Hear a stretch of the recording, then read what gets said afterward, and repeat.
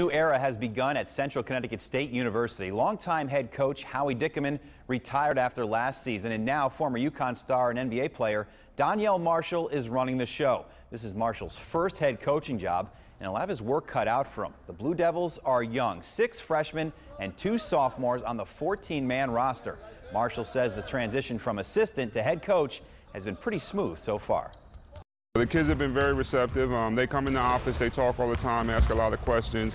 Um, and when you when the kids do that, you know they're feeling comfortable with you, and that's always a good sign. He's been in our shoes, so he knows um, all the advice to give us. He's been through it. He tells us uh, what to do and what not to do, how to how to work situations out, how to see things before they happen.